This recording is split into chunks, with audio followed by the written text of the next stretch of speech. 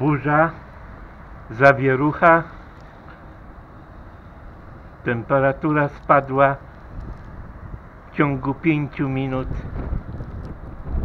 o 4 stopnie. Minus 4.